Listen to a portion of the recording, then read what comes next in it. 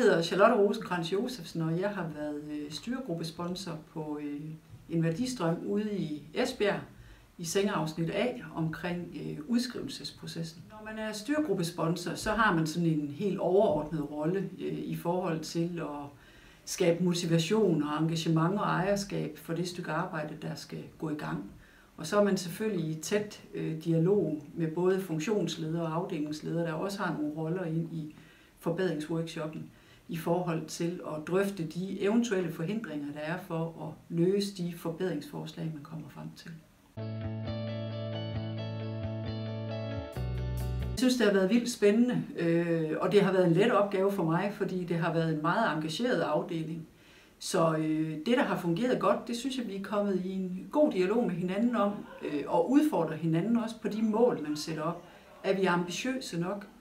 Øh, hvor langt skal vi nå? Hvad tror vi, de her øh, fem dage, de kan bringe os til?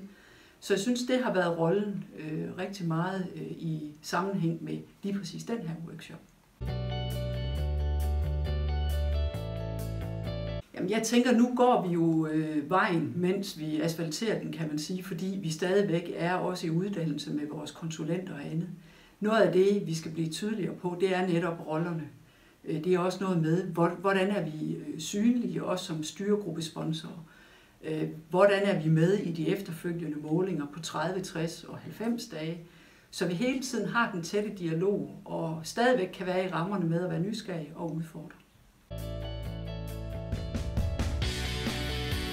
Et godt råd er langt hen ad vejen at være nysgerrig, bakke op om alle de gode forslag, der er, for der er så mange kræfter, der sættes fri, når medarbejderne selv skal prøve at forbedre deres daglige arbejdsdag.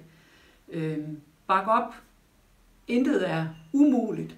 Der er selvfølgelig nogle rammer, man kan nå, og et loft, man kan nå på et tidspunkt, som vi som sygehus alene ikke kan ændre på. Men jeg synes faktisk, det at være ambitiøs på patientens vegne, det er det allervigtigste.